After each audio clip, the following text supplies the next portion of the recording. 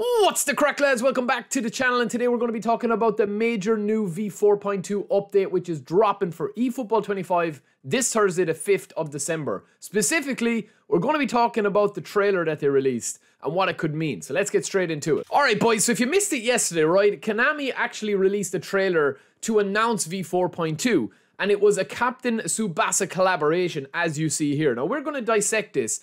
Is it just a collaboration or does it hint at what could come in V4.2, specifically with a tie-in to another game. This is very interesting, right? And it's just something I've been thinking about as well the more I've watched the trailer. So we do have the anime style cards. Obviously you have Messi there in the Captain Tsubasa style. Now we've had this before. I'll take and I'll show a look at what we've had before as well, such as these cards which we've had, as I've said, in the game already. And we've actually had a collaboration like this before, the Blue Lock collaboration, which launched back in March and it ran until April, right? So this kind of reminds me of that. We had the trailer, we had the big emphasis on the cards, we had a big emphasis on the anime style of the cards. And this collaboration featured the same old stuff as we usually get. Special login bonuses, campaigns, kits, free players, premium players, and a load of free spins at cards that were in this collaboration.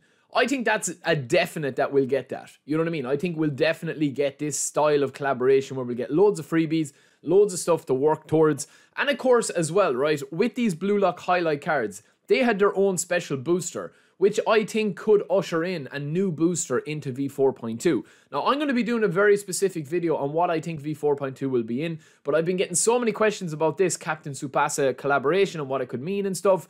I think that there is a couple of things hidden within the trailer, especially at the end of the video, which we'll get to in a second. But that is just what the cards look like when you sign them, right? I'm not going to spend too long on this, but just for anyone that never signed a Blue Lock or has jumped on I'm not going to jump on the bandwagon and say that I'm the biggest Blue Lock or Captain Tsubasa fan in the world, but it was a pretty cool collaboration, and especially if it's one of your favorite anime uh, series, it is definitely something that you could get excited about, right? Also, with V4.2, we know that the objectives and the campaigns and the match pass and the eFootball League, that is all ending. So that is going to be uh, revamped that is where this collaboration will come in and I think that they'll add to it over a next the next two to three weeks, especially as we go into Christmas. However, the biggest talking point of this video, I've left the best to last, is this champion squad, right? So this is the first time that Konami have actually talked about this champion squad uh, game within eFootball. This is its own standalone mobile game that is available on the App Store, and I do feel as if this is kind of this is kind of more interesting, I think, because it's the first time that they've ever actually shown a different game within an eFootball specific trailer.